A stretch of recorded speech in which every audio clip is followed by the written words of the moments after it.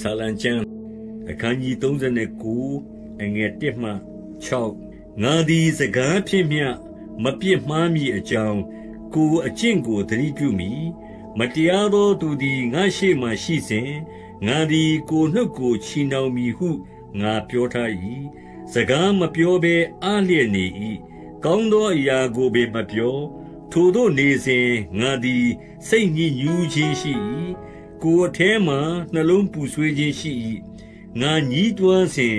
မီးလောင်လေ၏ထိုအခါငါသည်နှုတ်မြွက်၏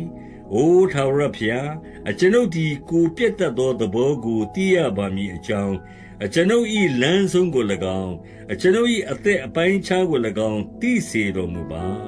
အကျွန်ုပ်အသက်တာကိုတမိုက်မျှတာခံထားတော်မူပြီးအကျွန်ုပ်အရွယ်သည်ရှေ့တော်၌ ဘာမျှမဟုတ်တကယ်သို့ဖြစ်ပါ၏အကယ်စင်စစ်လူမြည်ဒီကလူ၏အထွတ်သို့ရောက်တော်လဲ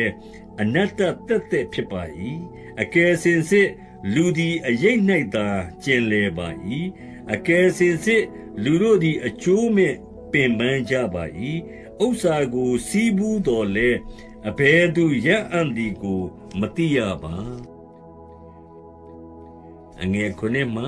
73 ယခုမူကားအကျွန်ုပ်သည်အဘယ်သို့မျော်လင့်ရပါမည်နည်း။အိုထာဝရဘုရားကိုယ်တော်၌သာမျှော်လင့်เสียအကြောင်းရှိပါ၏။ပြစ်မှားမိသမျှသောအပြစ်တို့မှအကျွန်ုပ်ကိုလွတ်တော်မူပါ။မိုက်သောသူတို့၏ကဲ့ရဲ့ခြင်းကိုခံစေတော်မမူပါနှင့်။ကိုယ်တော်စီရင်တော်မူရာဖြစ်သောကြောင့်အကျွန်ုပ်ပြောเสียမရနှုတ်ကိုမဖွင့်ဘဲနေရပါ၏။ အကျွန်ုပ်ကိုဒဏ်ခတ်တော်မမူပါနှင့်ဦး။လက်တော်အောက်၌ဆုံးမခြင်းကိုခံရ၍အားကုန်ပါပြီ။ကိုယ်တော်သည်လူတို့အပြစ်ကြောင့်ဆုံးမ၍ဒဏ်ခတ်တော်မူလျှင်၊ပိုးရွဖြစ်တတ်သကဲ့သို့၊လူတို့၏တင့်တယ်ခြင်းအသရေကို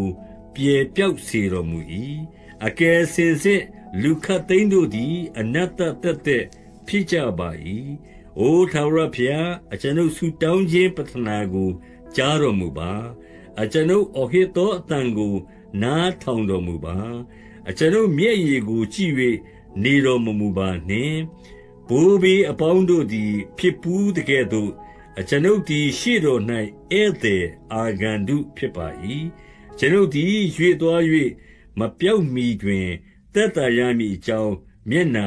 လွှဲတော်မူပါ